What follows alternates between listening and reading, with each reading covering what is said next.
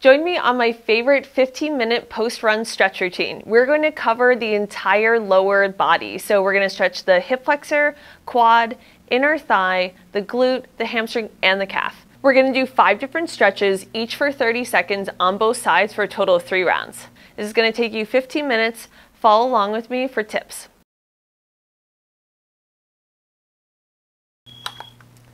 Lying on your back, you're going to cross your right leg over your left. You're going to interlace your hands behind your left leg, pull your left leg in toward your chest. Now, the thing though that I want you to focus on is creating an, creating an arch in your back. You're going to get a little bit more of a stretch through that lower back. So if you're, um, and through that glute area, if you are lifting up your head, I want you to try to rest your head down as much as you can.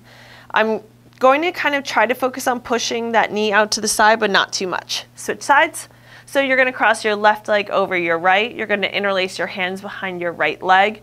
You're going to try to create that little arch in your lower back. This is what's going to really challenge some of that flexibility um, in, the, um, in the back of the leg. You should be feeling this in your glute.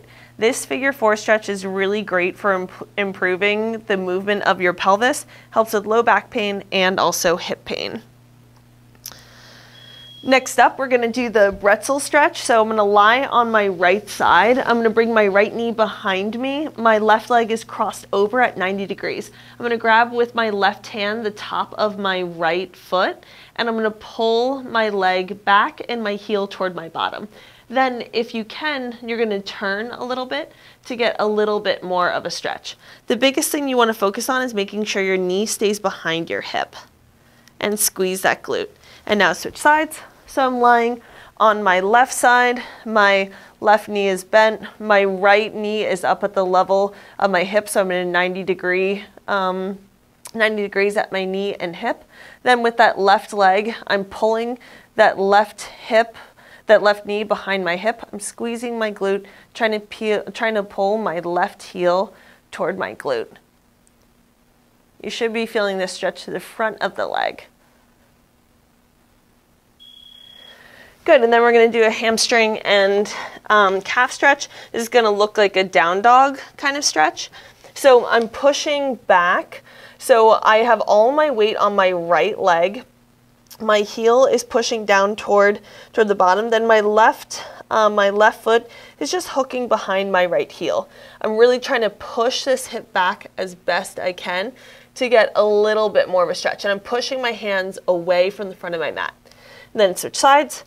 You might find that one side is a little bit tighter than the other. That's totally normal. The thing that I'm really focusing on is trying to create an arch in my back. If I create an arch in my back, I'm going to get a little bit more of a stretch through that glute, hamstring, and calf. I'm also making sure that my toes are pointing forward that whole time.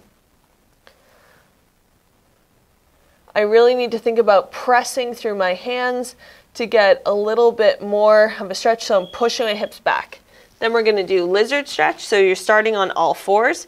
Bring your right foot to the outside of your right hand, walk your left foot back and lift that leg up. Now, the thing that I'm focusing on is pushing my right knee to the outside. So I'm really trying to separate the front, the, the front leg and the back leg as best I can, trying to keep my middle back flat as well. Good, then you're gonna switch sides. You can come back down on all fours, bring your left foot to the outside of the left hand, and then walk that foot back. So the thing is that a lot of times people's foot isn't their foot isn't necessarily on the outside of their left hand. You really want to try to do that and you want to try to sink that front leg, that front hip down a little bit more. And you want to try to keep your back flat. Good, and come on down. Now we're gonna do a butterfly stretch. I'll show you guys from the front first, but then we're gonna switch. This is the, the final stretch. So my feet are together. I'm trying to roll forward on my pelvis as best I can. I'm pushing my heels and my feet together. I'm taking my, my hands across the tops of my toes, but I'm not pulling my, my toes in toward me. I'm trying to come and sit as far forward as I possibly can. You can see this right leg definitely needs a little bit of work here.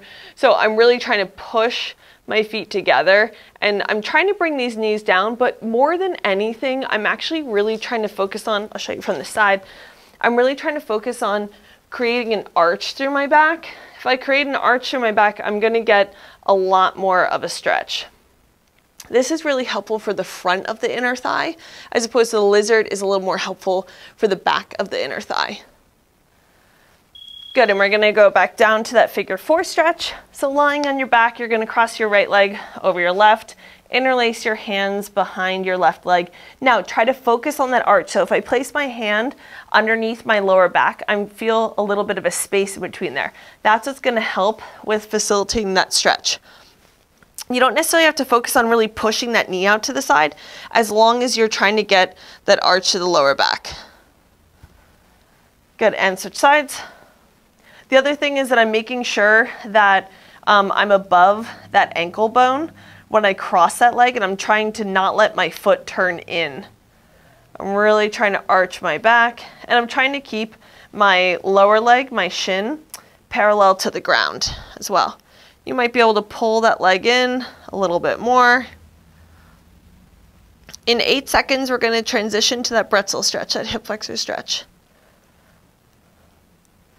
Good, and switch, um, and switch to the bretzel. So I'm lying on my left side. My right knee is up at the level of my hip. I'm gonna grab the top of my left foot with my, um, with my right hand. I'm really trying to, um, in this case, what I wanna do is I actually wanna try to tuck my pelvis. So in the other ones, we were trying to arch our back. Now, because we're stretching the front of the leg, I really wanna actually create a little bit of a tuck. That's what's gonna be helpful for making sure that I'm getting a little bit more of a stretch. And switch sides. So now I'm lying on my right side. Squeeze that glute, bring the heel toward the bottom as much as you can. And really try to make sure that that knee is behind where the hip is. That's what's gonna help you to get a little bit more of a stretch as well. In five seconds, we're doing that down dog stretch. Good, and come on up. Down dog stretch. So I really need to think about when I go to push back, I'm really trying to push my hips back as much as I can and then go to straighten that knee. So first I have this knee bent, I push my hips back and then I straighten my knee. That's what's gonna make sure that your pelvis is in a really good position. Because what happens sometimes is people kind of round a little bit. So I really wanna make sure that I'm bending at my hips and switch sides. So again, you can do that same thing. Bend your knees, push your hips back, and then straighten your knee. There you're going to be able to get a little bit more of a stretch. The other thing that I'm really trying to think about doing is pushing my hands away, and then also just to kind of work on a little bit of some of that shoulder stability. I want you guys to try to point your elbows um, and when you try to point your biceps up. Good. And now we're doing the lizard stretch. So my right foot is to the outside of my right hand. I'm to walk that left foot back and straighten that knee. You can keep this knee down if you want. I really want you guys to focus on um, on arching through that middle back area, making sure that that's flat. And then come on up. Good, and switch sides. One thing you can do with this lizard stretch is you can kind of push that knee to the outside a little bit more. You might feel that stretching a little bit. Sometimes people even come on the outer edge of their foot. But what I really want you guys to think about is like this front leg, this hip is sinking down toward the ground.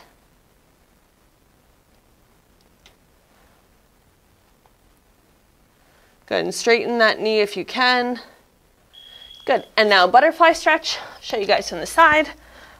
So my feet are together, and you see how I kind of like push myself forward a little bit, try to arch my back, and then I sit my, sit my pelvis down. Then I take my feet, and I'm really pushing my feet together as best I can. So my whole foot, so pinky edge side of my foot, my big toe, my heel, that's all pressing together And then I'm thinking about rocking forward on my pelvis, trying to stay as upright as I can. So you notice that my like middle back is pretty flat. So then like that's what's pulling me forward. I'm not doing this motion because remember it's important to strengthen in a functional position. This is much more functional. In 10 seconds, we're done with this stretch. This you should really feel through that inner thigh area. It's like the most meaty part of your lower leg. All right, last time, figure four stretch. Sometimes the reason why we're doing all of these glute, glute and hamstring and adductor, like inner thigh stretches, is because like that, especially that adductor area, that creates the majority of the mass of your leg. And especially as a runner, you use your adductors as hip flexors and hip extensors. So they're just used really frequently. They're really helpful for generating power. So if you're going up hills, you're gonna use them a lot, but they're also hard to stretch. Switch sides. So that's why we need to kind of get them at all these different, um, all these different angles because it just there's a lot of it. It's not as simple as just kind of saying like, oh, I'm just gonna do this one butterfly stretch or just this lizard stretch. We kind of need to approach it from all angles. A lot of times too, people think they have hamstring pain, but it's actually their adductors. That's really common, actually. It's one of the most common things I treat actually for, for runners. Good, and now bretzel. So last time I'm lying on my left side. I'm gonna bring, I kind of walk that, that knee back before I even bend it. Then I bring my heel toward my bottom. I squeeze that glute as best I can. I tend to overarch my back, so I'm really trying to focus on making sure that that stays flat. So I need to kind of like tuck my pelvis a little bit. And then you can turn open. Good, and switch sides. So now I'm lying on this left side, I'm um, sorry, on my right side, bending that knee, squeezing that glute. I really have to walk that knee behind where my hip is. Trying to keep the back of my neck long too, like my chin will kind of start to come up, but I'm really trying to keep that whole area long.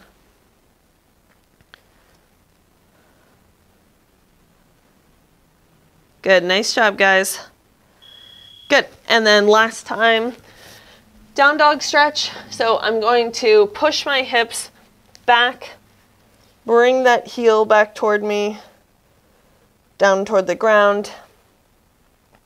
I'm really also trying to think about, it's like I'm trying to push this whole femur back. So I'm placing my hand kind of right on where my hip crease would be. So I'm really trying to push that part back as much as I can. That's just gonna allow me to get a little bit more of a stretch and switch sides. So I like to bend my knees, push my hips back as much as I can, and then straighten my leg. So like here, I'm really challenging some of that flexibility. I, I even feel this in through my glute because I'm really trying to get that femur head to go back. And that's what's gonna stretch um, deep inside that glute area too. Just gonna reinforce everything else that we were doing. Good, and now lizard. So right foot to the outside of right hand. And now I'm really gonna try to extend that hip. And then I'm gonna even kind of rock on the outside of my foot and try to like kind of push that knee out a little bit more. So this, this part of my femur, this top part, the thigh bone, is coming down toward the ground, but without arching my back. Good, and switch sides. So now my left foot is it to the outside my left hand. And you know, guys, you're gonna find that one side feels really different than the other. And that's why we're doing all these single side stretches, is because then you can kind of isolate like, oh, okay, you know, my left lizard feels a lot tighter, but then it's like my right calf in that down dog stretch. It's the whole idea. Three seconds. Good. Last time, butterfly stretch.